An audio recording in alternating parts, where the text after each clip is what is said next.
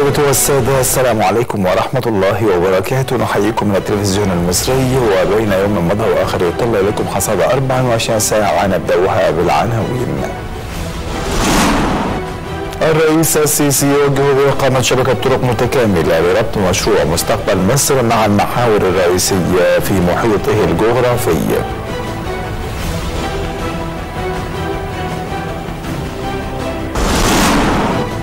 الحكومة توافق على مشروع قانون بشأن تقنين أوضاع بعض مخالفات البناء والتصالح فيها.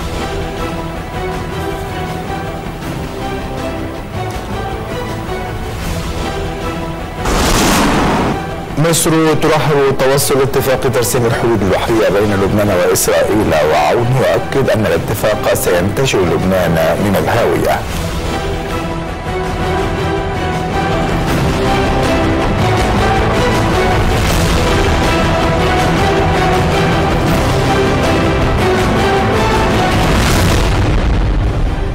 إلى تفاصيل الأحداث. وجه السيد الرئيس عبد الفتاح السيسي بإقامة شبكة طرق متكاملة لربط مساحات المشروع القومي كافة للإنتاج الزراعي مستقبل مصر مع المحاور الرئيسية في محيطه الجغرافي. وذلك لاستيعاب حركة التنمية والتطور العمراني المستقبلي المتوقع لتلك المنطقة في إطار الدلتا الجديدة. جاء ذلك خلال الاجتماع الذي عقده السيد الرئيس عبد الفتاح السيسي مع رئيس مجلس الوزراء الدكتور مصطفى مدبولي وعدد من المسؤولين المعنيين لمتابعة تطورات الموقف التنفيذي للمشروع. اجتمع السيد الرئيس عبد الفتاح السيسي مع الدكتور مصطفى مدبولي رئيس مجلس الوزراء واللواء أمير سيد أحمد مستشار رئيس الجمهورية للتخطيط العمراني واللواء أركان حرب هشام السويفي رئيس الهيئة الهندسية للقوات المسلحة والعقيد طيار بهاء الدين الغنام مدير مشروع مستقبل مصر. المتحدث الرسمي باسم رئاسة الجمهورية صرح بأن الاجتماع تناول متابعة تطورات الموقف التنفيذي للمشروع القومي للإنتاج الزراعي مستقبل مصر. وقد اطلع السيد الرئيس في هذا الإطار على تطورات المراحل الحالية والمستقبلية لمشروع مستقبل مصر من كافة العناصر ومكونات البنية الأساسية موجها سيادته بإقامة شبكة طرق متكاملة لربط كافة مساحات المشروع مع المحاور الرئيسية في محيطه الجغرافي وذلك لاستيعاب حركة التنمية والتطور العمراني المستقبلي المتوقع لتلك المنطقة في إطار الدلتا الجديدة ونظرا لحجم الأراضي الشاسعة المستصلحة وما يستتبعها من حركة نقل وتجارة ضخمة وكثافة تشغيل وعمالة متنوعة وذلك اتساقا مع استراتيجية الدولة لزيادة نسبة الأراضي الزراعية والعمرانية من الرقعة الجغرافية الكلية للجمهورية. وأضاف المتحدث الرسمي أن الاجتماع شهد أيضا عرض الموقف التنفيذي لكل من مشروع استصلاح الأراضي في محافظتي المنيا وبني سويف وكذا مجمع الصوب الزراعية بمنطقة اللاهون بمحافظة الفيوم. أكد دكتور مصطفى مدبولي رئيس مجلس الوزراء أن المؤتمر الاقتصادي سيمثل منصة لتبادل وجهات النظر بين الحكومة والخبراء لصياغة خارطة الطريق بشأن مستقبل الاقتصاد المصري. وخلال الاجتماع الأسبوعي للحكومة أشار مدبولي إلى إجراء لقاءات مع المستثمرين في عدة قطاعات بحضور الوزراء المعنيين للاستماع إلى المقترحات التي تدعم خطط الدولة نحو النهوض بالاقتصاد. لمواجهة عمليات التواطؤ في التعاقدات الحكومية ولخلق مناخ استثماري تنافسي جيد شهد رئيس مجلس الوزراء الدكتور مصطفى مدبولي مراسم التوقيع على بروتوكول تعاون بين وزارة قطاع الأعمال العام وجهاز حماية المنافسة ومنع الممارسات الاحتكارية. وفي اجتماعه الأسبوعي وافق مجلس الوزراء برئاسة الدكتور مصطفى مدبولي على مشروع قانون بشأن تقنين أوضاع بعض مخالفات البناء والتصالح فيها والذي أجاز تقنين هذه الأوضاع في الأعمال التي ارتكبت بالمخالفة لأحكام القوانين المنظمة للبناء الصادرة قبل العمل بأحكام هذا القانون. كما وافق مجلس الوزراء على مشروع قانون بشأن منح بعض التيسيرات للمصريين المقيمين في الخارج بحيث يحق للمصري الذي له إقامة سارية في الخارج استيراد سيارة ركوب خاصة واحدة لاستعماله الشخصي معفاة من الضرائب والرسوم التي كان يتعين أداؤها للإفراج عن السيارة مقابل سداد مبلغ نقدي بالعملة الأجنبية لا يستحق عنه عائد يحول من الخارج لصالح وزارة المالية على أن يتم استرداد المبلغ الذي تم تحويله بعد مرور خمس سنوات من تاريخ السداد بذات القيمة بالمقابل المحلي بسعر الصرف المعلن وقت الاسترداد.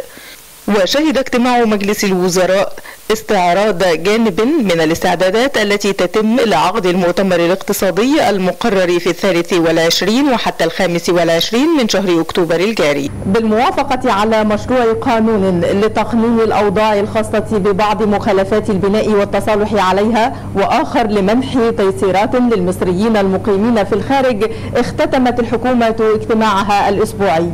من مقر مجلس الوزراء إيمان التوني التلفزيون المصري. أكد المستشار الدكتور حنفي جبالي رئيس مجلس النواب أن المرأة مثلت ركنا أساسيا للتقدم والازدهار البشري وطرفا فاعلا في بناء الحضارات الإنسانية. وفي كلمته خلال الجلسة النقاشية حول المساواة بين الرجل والمرأة في إطار أعمال الجمعية رقم 145 للاتحاد البرلماني الدولي المنعقدة في رواندا. أشار رئيس مجلس النواب أن القيادة السياسية المصرية حققت تمكينا حقيقيا للمرأة.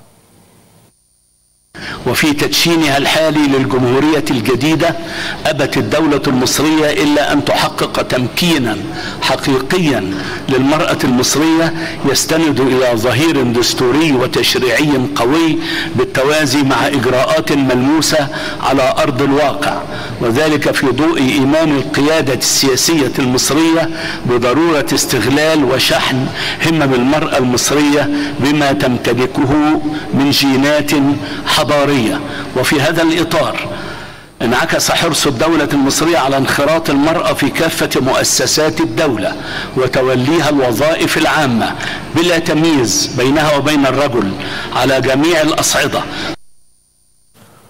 استقبل فضيلة الإمام الأكبر الدكتور أحمد الطيب شيخ الأزهر الشريف وزير الصحة الباكستانية السيد عبد القادر باتيل للاطلاع على مستجدات أزمة الفيضانات في باكستان. واستعرض وزير الصحة الباكستاني أبعاد الأزمة التي تسببت فيها الفيضانات والسيول التي أودت بحياة الآلاف من الباكستانيين وجرفت الأراضي الزراعية وأدت إلى نزوح العائلات الباكستانية. وأكد الوزير الباكستاني أن بلاده تواجه ظروفا استثنائية وطارئة. من جانبه أعرب شيخ الأزهر عن خالص عزائه لعائلات الضحايا والحكومة والشعب الباكستاني في ضحايا السيول والفيضانات مؤكدا تضامن علماء الأزهر وطلابه مع باكستان في مصابها الجلل والأليم. نظم الأزهر الشريف بالتعاون مع القوات المسلحة ندوة تثقيفية بعنوان ميلاد النصر بحضور نخبة من علماء وقيادة الأزهر والقوات المسلحة.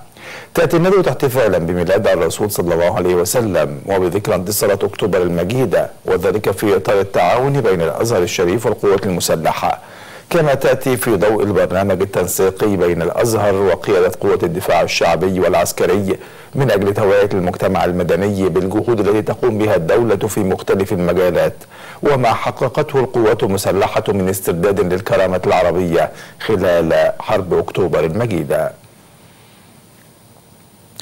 نظم قطاع الحماية المدنية المجتمعية احتفالية لنزلاء مراكز الإصلاح والتأهيل وأسرهم بمناسبة المولد النبوي الشريف بحضور عدد من علماء الأزهر. تأتي الاحتفالية في إطار حرص وزارة الداخلية على إحياء المناسبات الدينية والوطنية داخل تلك المراكز كإحدى أدوات منظومة السياسة العقابية الحديثة لإصلاح المسارات الفكرية والسلوكية للنزلاء. أعلن وزير الحج والعمرة بالمملكة العربية السعودية دكتور توفيق بن فوزان الربيعة إلغاء الشروط والقيود الصحية والإجرائية كافة للمعتمرين المصريين. جاء ذلك خلال مؤتمر صحفي بمقر السفارة السعودية بالقاهرة بحضور السفير خادم الحرمين الشريفين لدى القاهرة حسام بن أحمد نقلي وعدد من مسؤولي وزارة الحج والعمرة.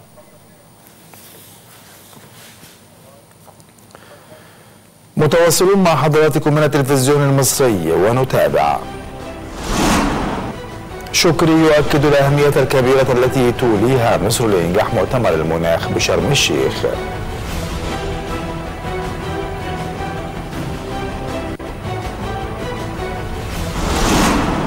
صندوق النقد الدولي يتوقع تحقيق مصر واحدا من أعلى معدلات النمو عالميا لعام 2022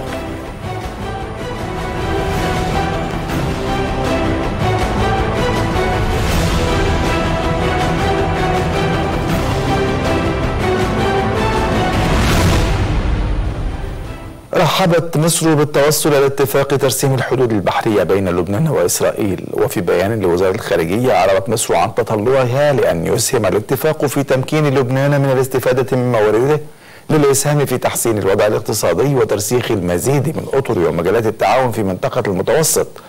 كما جددت الخارجية التأكيد على دعم مصر الكامل لاستقرار وسيادة لبنان وتحقيق تطلعات الشعب اللبناني الشقيق. أكد الرئيس اللبناني ميشيل عون أن إنجاز اتفاقية ترسيم الحدود البحرية الجنوبية مع إسرائيل سيمكن لبنان من استخراج النفط والغاز معتبرا أن الاتفاق سينتشل لبنان من الهاوية التي سقط فيها نتيجة عدم تغيير طريقة الحكم لسنوات كما أعلن الرئيس اللبناني بدء إعادة اللاجئين السوريين إلى سوريا الأسبوع المقبل في ظل تحسن الأوضاع نسبيا في عدد من المناطق هناك. وقال عون إن عودة اللاجئين السوريين ستتم على دفعات. مشيرا إلى وجود نحو مليون لاجئ سوري في لبنان.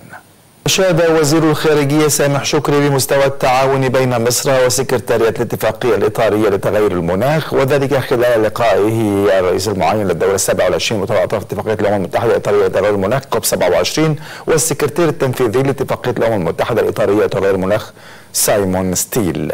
وأوضح شكري خلال اللقاء الأهمية الكبيرة التي توليها الدولة المصرية لنجاح المؤتمر سواء على المستوى التنظيمي أو الشق الموضوعي بهدف الوصول إلى النتائج المنشودة وتلبية طموحات جميع المشاركين فيما يتعلق بقضايا المناخ ذات الأولوية وخاصة التكيف مع تغير المناخ وتخفيف تداعياته وتوفير التمويل ومعالجة خسائر وأضرار تغير المناخ.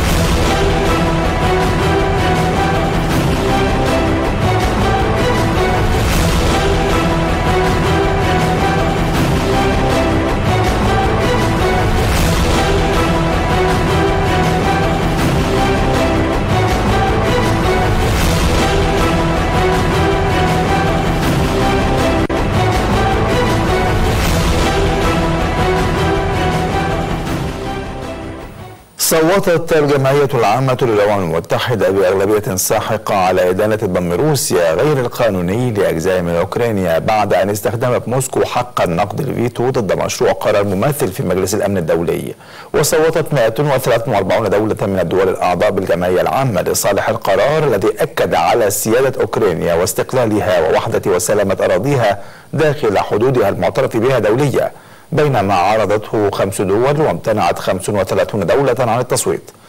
على جانب آخر قال الرئيس الروسي فلاديمير بوتين إن الهجوم على خطي أنابيب نورد ستريم بين روسيا وأوروبا هو بمثابة إرهاب دولي وسابقة خطيرة تهدد البنية التحتية للطاقة بالعالم. معتبرا أن الهجوم التخريبي يهدف إلى تقويض الاستقرار السياسي في أوروبا ويصب في مصلحة الولايات المتحدة الأمريكية بحسب قوله. نتابع. في أول رد فعل على تصريحات الرئيس الروسي أكد وزير الدفاع الأمريكي لويد أوستن الالتزام بدعم الاحتياجات العسكرية الأوكرانية على المدى الطويل. وأضاف أوستن أن حلفاء واشنطن يقفون صفا واحدا في مواجهة التهديدات الروسية.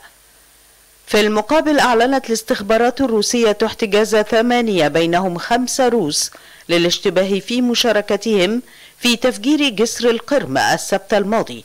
وقالت الاستخبارات الروسية إن الهجوم من تدبير الاستخبارات العسكرية الأوكرانية وأشارت إلى أنه تم إخفاء المتفجرات في لفائف تغليف بلاستيكية أرسلت في أغسطس من ميناء أوديسا الأوكراني ثم عبرت بلغاريا وجورجيا وأرمينيا قبل دخولها إلى روسيا. في تلك الأثناء أعلنت الرئاسة الأوكرانية أن قواتها استعادت خمس بلدات من القوات الروسية في منطقة خيرسون الجنوبية. وتقود القوات الأوكرانية هجوما مضادا منذ عدة أسابيع في هذه المنطقة التي تسيطر عليها القوات الروسية حيث حققت مكاسب كبيرة على الأرض ودمرت عدة جسور بهدف قطع الإمدادات اللوجستية عن القوات الروسية. تسارع الأحداث على المشهد في أوكرانيا دعا الأمين العام لحلف شمال الأطلنطي ينس ستولتنبرغ إلى تأكيد أن تزويد أوكرانيا بأنظمة الدفاع الجوي يعد أولوية مطلقة. وتبحث الدول الأعضاء في الناتو خلال اجتماعهم في بروكسل تزويد أوكرانيا بنظم دفاعية أكثر تطورا. وشدد ستولتنبرغ على ضرورة تقديم الدعم العسكري لكييف مؤكدا أن أي هجوم متعمد على البنية التحتية لدول الحلف سيواجه برد حازم وموحد.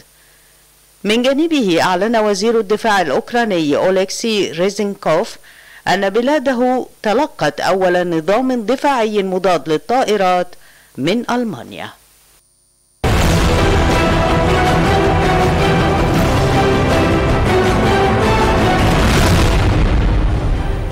صندوق النقد الدولي يعلن أن اقتصاد مصر يواصل تحقيق معدلات نمو مرتفعة ومؤشرات تواصل التحسن لأعوام قادمة.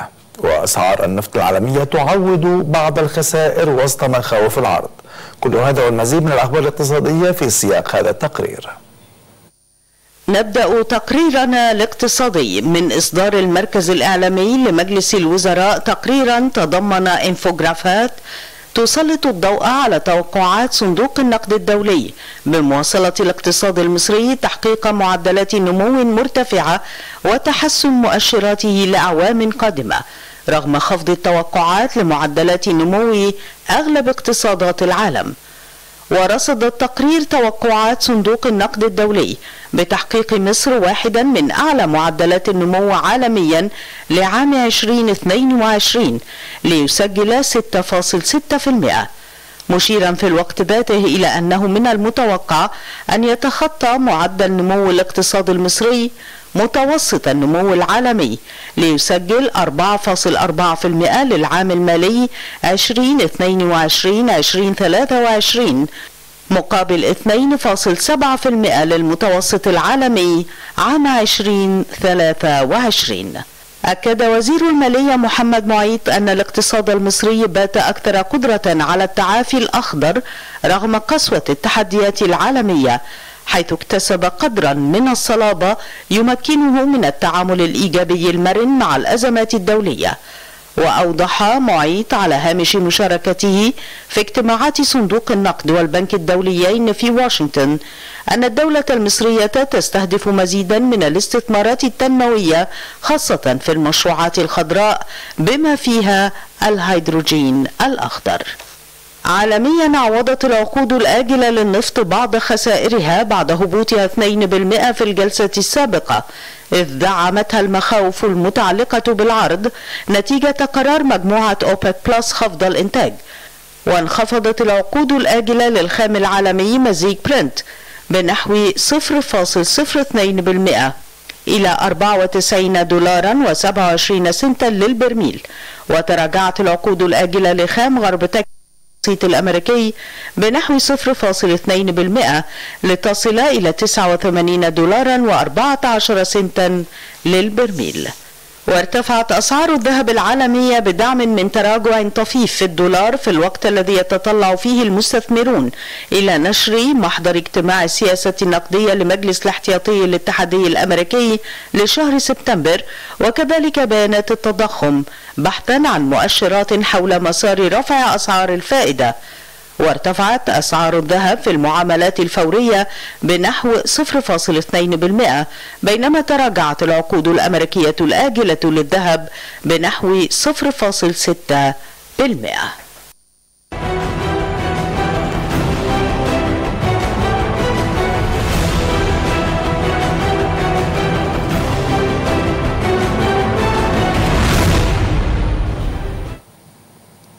والدخول في مجال الزراعة الذكية التي تعتمد على استخدام التقنيات الحديثة مثل نظم الذكاء الاصطناعي أصبح سمة العصر. وتعمل السلطات في مصر حاليا على تنفيذ خطة لتطوير محاصيل زراعية قادرة على التكيف مع تغيرات المناخ وتتوائم مع شح المياه. زرعت هنا.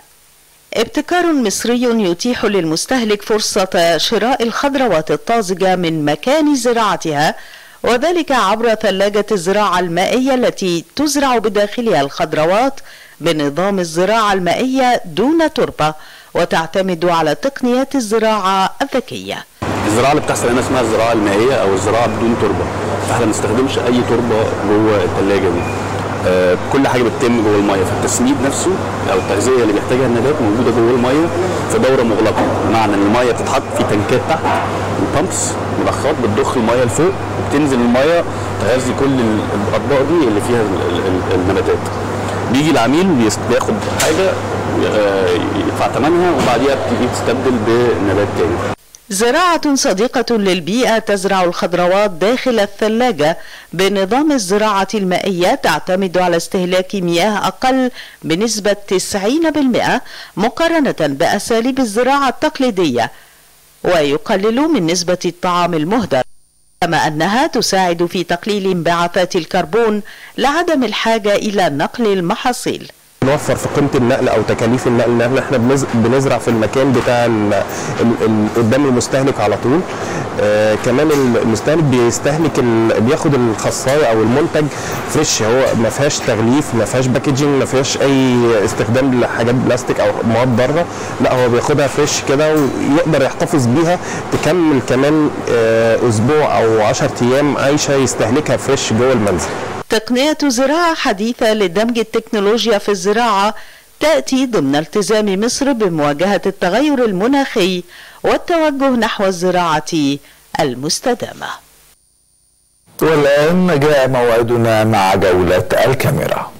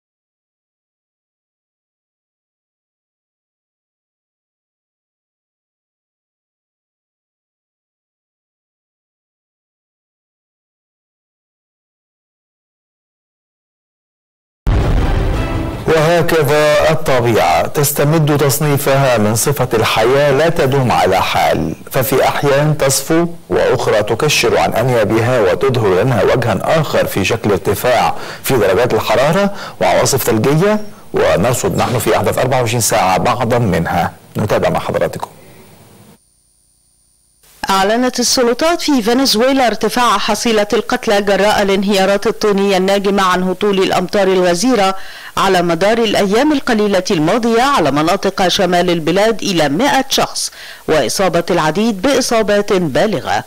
تم تدمير المئات من المنازل وعدد من المنشآت المهمة وأدت الفيضانات إلى ارتفاع منسوب المياه في الأنهار إلى ستة أمتار وجرف السيارات والأشجار. تم إجلاء المئات من المتضررين إلى مراكز إيواء مؤقتة لتلقي الرعاية اللازمة لهم. لقي أكثر من 13 شخصا مصرعهم واعتبار العديد في عداد المفقودين إثر تعرض غواتيمالا للعاصفة الاستوائية جوليا. تسببت العاصفة في انقطاع التيار الكهربائي عن الملايين من المواطنين. تم نزوح أكثر من 1300 شخص إلى أماكن أكثر أمنا. وحثت السلطات المواطنين المقيمين بالقرب من الأنهار بضرورة الانتقال إلى أماكن مرتفعة. في هندوراس لقي أكثر من خمسة أشخاص مصرعهم بعد أن جرفتهم مياه الفيضانات من جراء تعرض البلاد للعاصفة جوليا المصحوبة برياح عاتية بلغت قوتها أكثر من 45 كيلومترا في الساعة فيما لا يزال العديد في عداد المفقودين وتم إجلاء الآلاف إلى مناطق أكثر أمنا. أعلنت السلطات الإسبانية حالة الطوارئ إثر تعرض شمال البلاد لموجة من الفيضانات المدمرة والتي أدت إلى تدمير العديد من المنازل وجرف السيارات. تم إغلاق الطرق السريعة خوفا من وقوع حوادث مرورية. يتوقع خبراء هيئة الأرصاد الجوية أن تكون حالة الطقس اليوم الخميس معتدلة نهارا على القاهرة الكبرى والوجه البحري والسواحل الشمالية وشمال الصعيد وأن يكون الجو مائلا للحرارة على جنوب سيناء. حار على جنوب الصعيد لطيف في أول الليل مائل البرودة في آخره على أنحاء كافة وفيما يلي بيان بدرجات الحرارة المتوقعة اليوم الخميس إن شاء الله على محافظات ومدن جمهورية مصر العربية.